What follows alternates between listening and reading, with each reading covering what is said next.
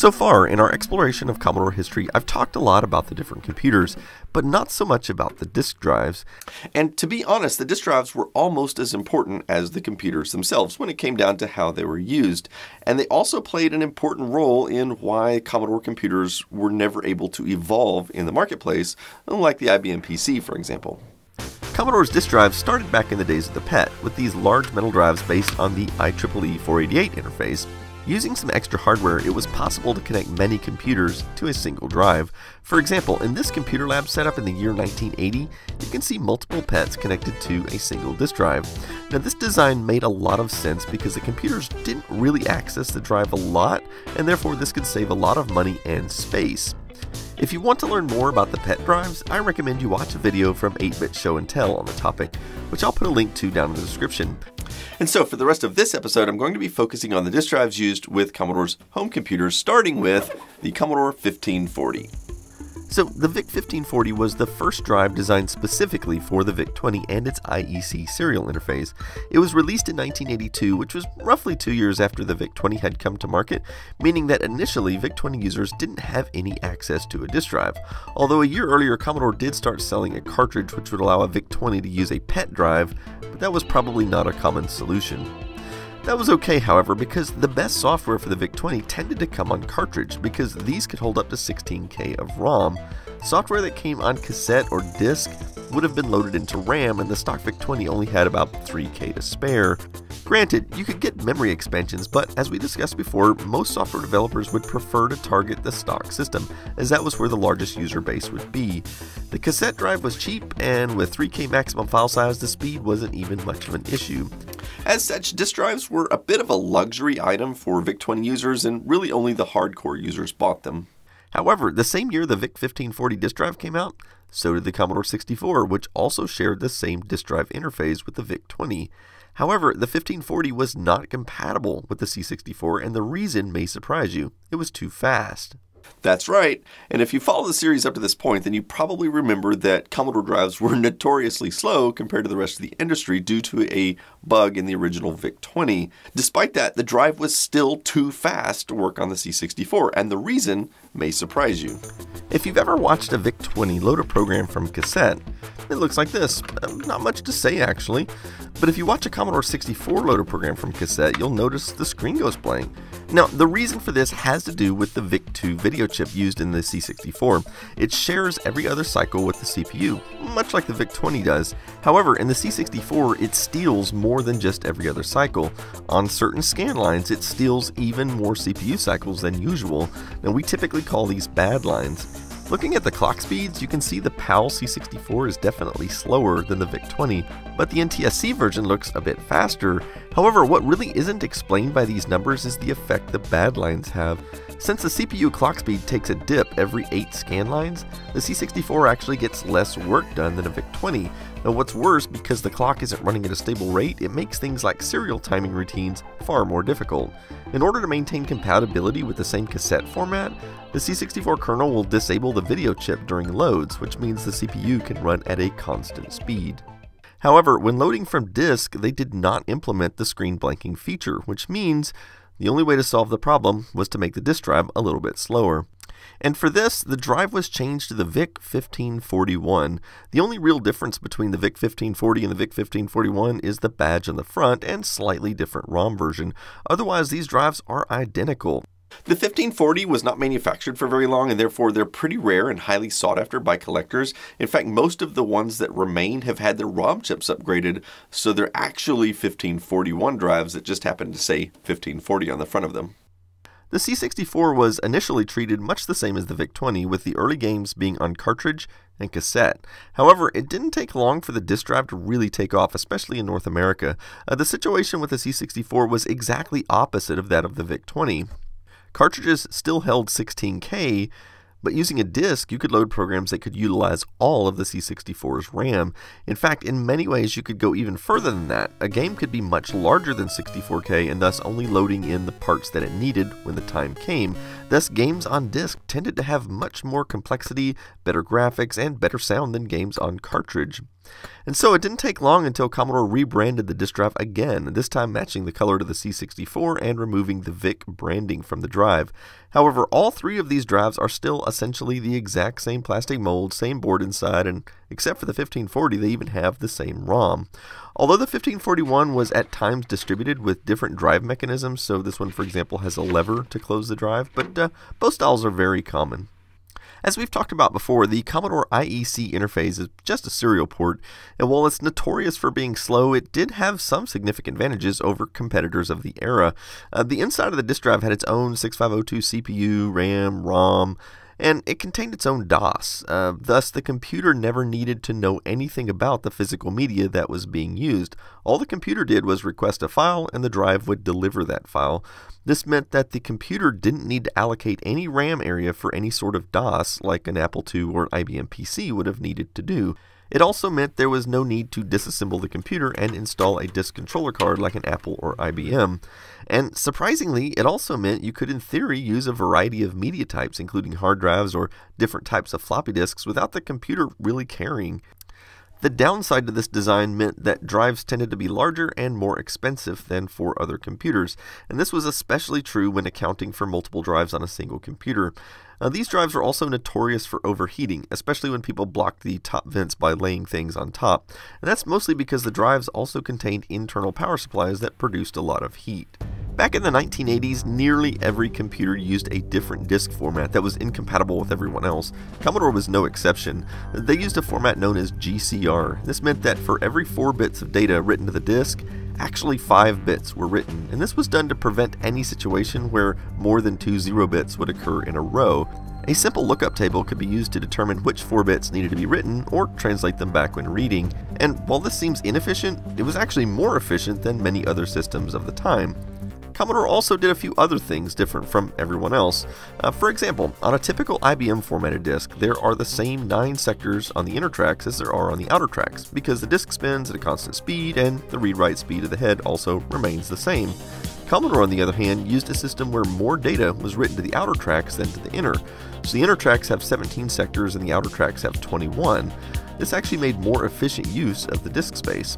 Another interesting thing is that most computers store the directory information starting at track 0, but Commodore Drive stored it at track 18. And this was probably done to reduce seeking time because the head would always be within 18 tracks of the directory track. The intended way to list a directory was actually to load a file called dollar sign from that device number this actually causes the disk drive to construct a special basic program that you can list, which will show the contents of the drive. The main problem with this design is that it will overwrite whatever program you have in RAM, so if you were in the middle of writing a basic program, you couldn't actually list the directory of a disk. Of course, this wasn't a huge problem since most Commodore users invested in some sort of fast load cartridge, and every one of them added a feature where you could just type a short command to get the directory listing without overwriting your basic program. File names could be 16 characters in length and could be one of five file types. PRG files were program files and by far the most common. SEQ were sequential files or essentially text files. REL files are relative files, which are sort of like primitive database files. Uh, user and DEL files are pretty rare and probably not worth talking about here. Also, you could store a maximum of 144 files on a disk, which is a limitation of the directory, although that's a barrier few people ever encountered. Also, Commodore DOS is not hierarchical, meaning there are no subdirectories, and files are always displayed in the order they are written to disk, so there is no alphabetical order. If you list a directory and ever see an asterisk next to a file type, that's called a splat file. Essentially, these are caused when a file is open for writing but the file is never closed. Uh, for example, if you pull the disk out while writing a file or if there were a program crash or power failure. One interesting fact about Commodore DOS is how it handles the location of the head. Most disk drives used sensors to figure out the head location. Apple disk drives eliminated the sensor to reduce cost and instead just sent the head back 40 tracks every time the power was turned on usually causing the head banging sound. Uh, this ensured the head would be at track 0 before any disk access started. Well, Commodore drives also had no sensors, yet they don't bang their heads every time you power them on. So how does this magic happen? Well, one time you are certain to hear the sound is when you format a disk. Then, as the disk is being formatted, the track number is written to every single track on the disk. And that way, even on a fresh power up, When you go to read a disc for the first time, the drive will know exactly what track it's on by just reading the header to the track. So under normal operation, you won't hear any head banging. However, many copy protection schemes, as well as corrupted disks, uh, could still cause the drive head to bang. And if this happened often enough, it could cause the drive head to go out of alignment, in which case it would stop reading disks properly, and therefore it would require service to realign the head. After formatting, listing a directory will show 664 blocks free on a newly formatted disk. So how much is that? Well, a block is 256 bytes, so 4 blocks is equal to 1K and the 1541 drive had only a single head, which meant you could store about 170 kilobytes per side. If you wanted to use the other side, you'd have to flip the disk over and then it would be treated like an entirely different disk. If the disk didn't have a write protect notch on both sides, you would need to punch one yourself, and there were special tools made just for doing that. In 1985, with the introduction of the Commodore 128, Commodore also introduced a new drive to match called the 1571. And besides having a very different visual appearance, the 1571 also added many new features. It supported the C128's burst mode, which meant it could finally transfer data at a really high speed. It also had two heads so that it could read both sides of the disk without having to flip it over. Now, at first, you might think that you could take a disk from a 1541 that has data on both sides and then read both sides in the 1571, but it doesn't work that way. The problem is when you flip a disk over in a 1541, the disk will be rotating in the opposite direction. And so to use both sides of the disk, you have to format the disk in a 1571 as a double-sided disk. And then that disk can only be read in a 1571 from that point on. However, when formatted, a blank disk would have 1,328 blocks free, so twice what the 1541 had. However, being that most commercial software wanted to target the 1541 for the widest compatibility, virtually no software was ever distributed on disks formatted for both sides, even software that was designed for the Commodore 128, because some 128 users were still using 1541 drives and never upgraded. Another benefit of the 1571 is that it had a track 1 sensor. This almost completely eliminated the head banging problem since it would always know when the head had made it back to track 1, so there was no reason to keep trying to move it. This helped over the long term with keeping the heads in proper alignment. And yet one more benefit of the 1571 is that the controller is more flexible and can read MFM formats as well as the Commodore GCR format. This allowed for compatibility with CP/M software, and that meant when using a Commodore 128, it was possible to read disks from machines like the Kaypro, for example. However, this was also exploited to allow the drive to read and write disks formatted for IBM PCs, or MS-DOS. It required a special program on the computer side to be able to read the disks, and just because you could read them doesn't mean you could execute programs or anything, but this could be helpful for transferring things like text files from one format to another. And while a minor detail, the 1571 also introduced dip switches to the back of the drive so you could easily change the device number without taking the drive apart. And one last important benefit is that when a 1571 is attached to a Commodore 64 or a Commodore 128 that's running in 64 mode, the drive will also go into a 1541 emulation mode so that it will be compatible with any software designed to work in a 1541. During the early days of the 1571, Commodore was having trouble keeping up with the demand in some regions, so as a stopgap measure, the 1570 was born. It used the same case molds as the traditional 1541, but on the inside you can see the board is essentially a 1571 board being held in place with some custom brackets. The drive mechanism itself is still a single-sided drive with just one head, but it does have the faster burst mode for the C128 and also includes a track 1 sensor. So it's very much a hybrid between a 1541 and a 1571. The 1570 is pretty rare these days as it wasn't made for very long, and interestingly enough, you can actually see a 1570 on the floor in the movie Ready Player One. Of course, after Commodore switched to making the 64C instead of the bread bin, they also changed the 1541's color yet again, back to white or light beige color. They call this the 1541C, although there's no actual markings on the drive referring to it as such. It's essentially identical to previous 1541 drives, um, except for the color and the badging. However, shortly after, they introduced the 1541-2. This has the same external design language as the 1571, but as you can see, it's quite a bit smaller. It's also quite a bit lighter, and while functionally it's identical to the regular 1541, one major improvement is that the power supply was removed from inside the case to an external brick. This greatly improved the issues with heat buildup inside, which made the drives considerably more reliable, and it also does have dip switches for the device number. The 1581 was introduced in 1987, well towards the end of the 8 bit era. This drive uses 3.5 inch double density disks, and because very little Commodore software would ever be distributed on this format, the main benefit of this drive was that it had a lot of storage on a single disk. A freshly formatted disk would have 3,160 blocks free, and that was a colossal amount for a Commodore machine, as that would be roughly five times what you could store on a 1541 disk. As such, these were popular with BBS operators, often having more than one of these drives, giving their file transfer section a lot more files to pick from. They were also popular with people who used GEOS, especially GEOS 128. They could store a lot of data and they supported burst mode, so they were very fast. They could also read MS-DOS formatted disks, just like the 1571. Again, they couldn't read this format natively, but with the use of a special transfer program on your computer. Despite not being directly supported by any games and virtually no commercial software, they were very popular with hobbyists and BBS operators and power users, and uh, therefore these are highly sought after today and they do tend to fetch top dollar when they show up for sale. Also worth mentioning is the Commodore 1551 disk drive, which was made primarily for the Commodore 16 plus 4 and other TED-based computers. Now while using the traditional 1541 case mold, the 1551 gets rid of the serial port and plugs straight into the cartridge port of these computers. This did solve the speed problem, of course, as these drives were very fast, However, these drives do not work on the Commodore 64 or the 128 or the VIC-20 because they do require the custom cartridge port of the Plus 4 or the, the C16 or 116 or any of the other TED series that are out there. In fact, these drives are actually pretty rare because even the TED machines had standard serial ports just like the 1541. And so those users wound up using standard disk drives more often than not. So these are actually pretty rare and fetch top dollar when, uh, when they do come up for sale. Up to this point, every drive I've shown you has been actually manufactured by Commodore, but what you may not know is that there were also numerous third-party drives developed by other companies that were compatible with Commodore's ecosystem. So each one of these third-party drives has at least one or two interesting tidbits of things I want to tell you about. So I'm going to start with the MSD drive. This was actually one of the first drives. This thing is actually really heavy too. now this is actually a dual drive. It has two drives in the front of it. Um, they also made a single drive version of this, which I do not have. The MSD SD2 is an industrial looking drive with a metal case on it. This particular one has been modded with toggle switches to set the drive number, a practice I'm not fond of, especially when placed right on the front like this.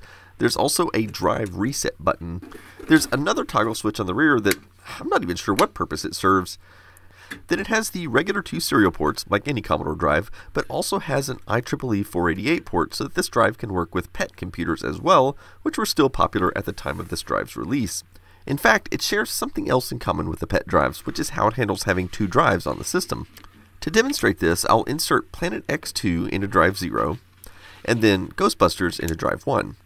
To get a directory from drive 0, you simply add a 0 after the dollar sign.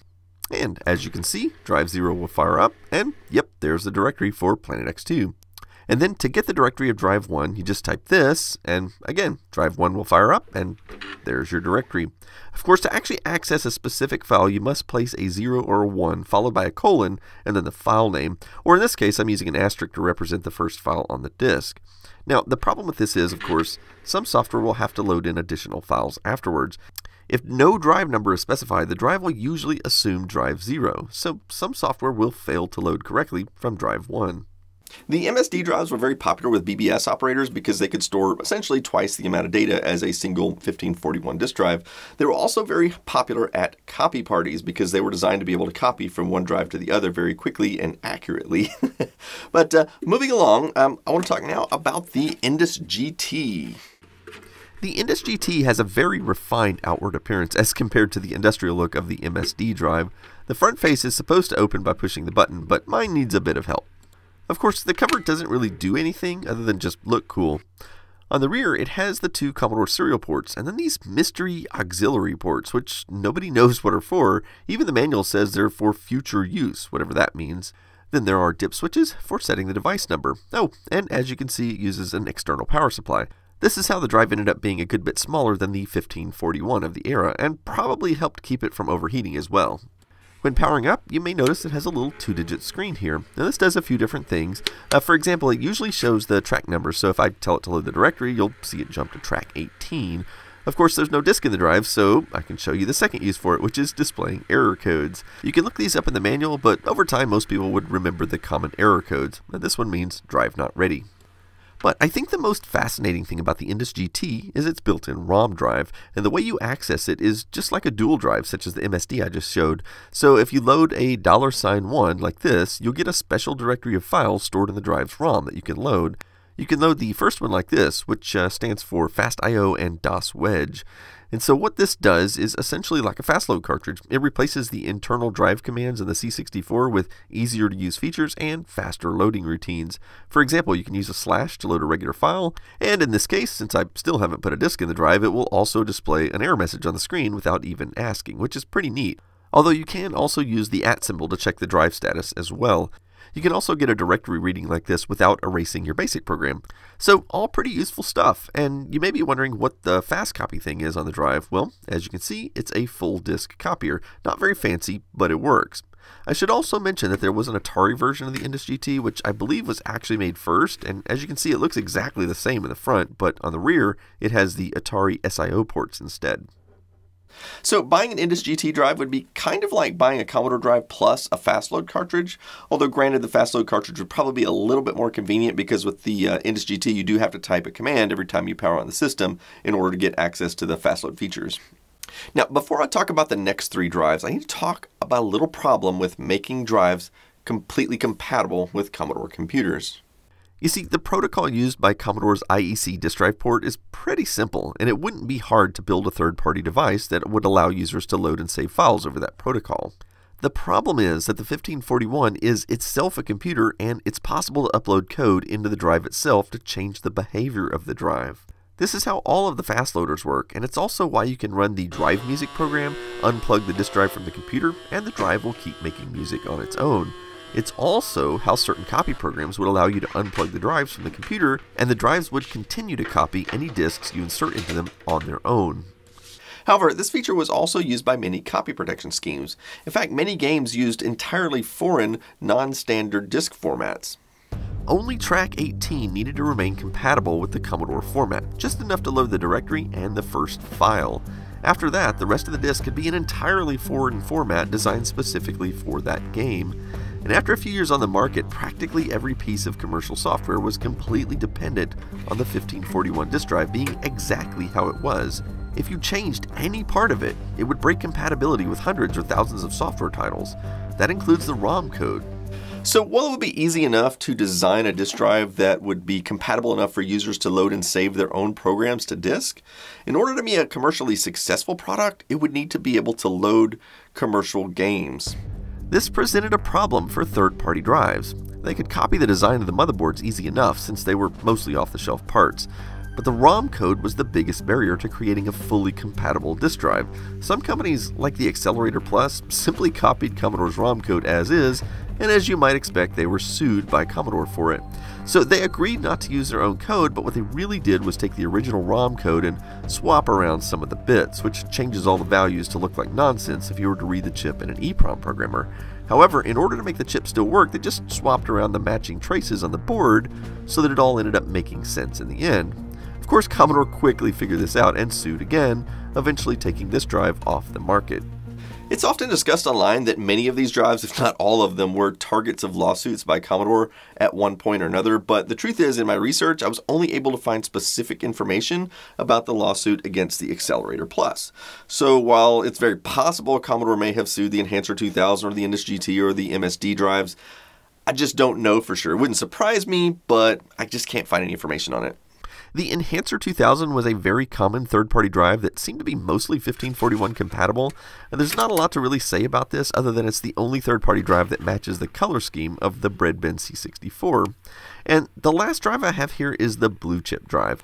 They actually made several different models, but this is one of the last models they made, and the thing that makes it unique is that it's actually not a clone of the 1541, but rather it's a clone of the 1571. So this drive was targeted for Commodore 128 users and it supports all of the features of the 1571. And there's one very important third-party drive which I don't have, so I'm going to let Robin from 8-Bit Show and Tell tell you all about it.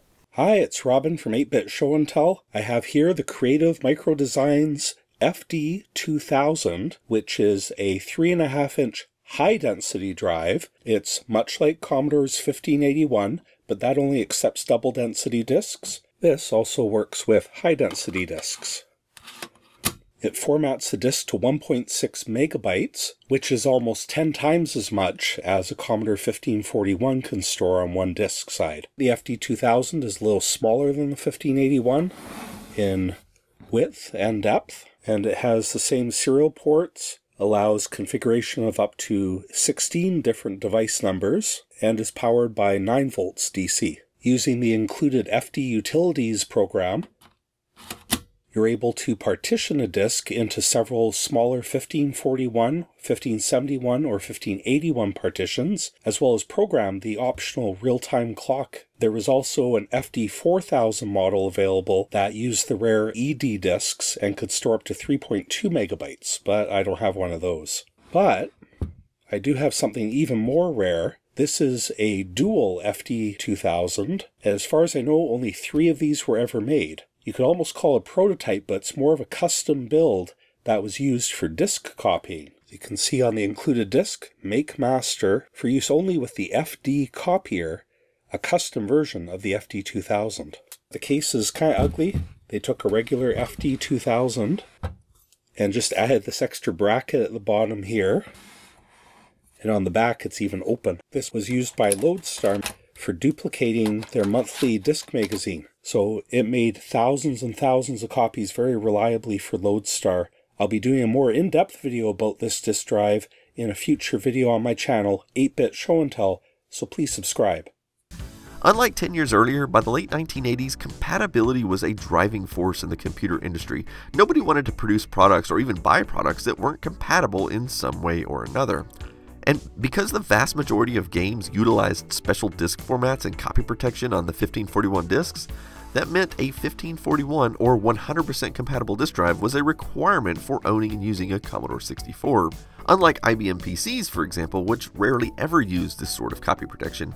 In fact, by this time, most IBM compatible games were more or less expected to be copied or installed onto your hard drive for execution, but this simply wouldn't be possible with Commodore software because they were so heavily intertwined with the 1541 disk drive. And while I'm sure that made Commodore happy because they were able to sue other manufacturers trying to create 100% compatible Commodore drives, it also meant they sort of painted themselves into a corner because the Commodore 8-bit line would never be able to move beyond the 5 and a quarter inch floppy disk, unlike uh, competitors like the IBM PC, for example. And like I said, it's probably not the only reason for the decline of the Commodore 8-bit ecosystem, but it was certainly a contributing factor. And of course, that about wraps it up for this episode of Commodore History, so stay tuned for the next one, and as always, Thanks for watching.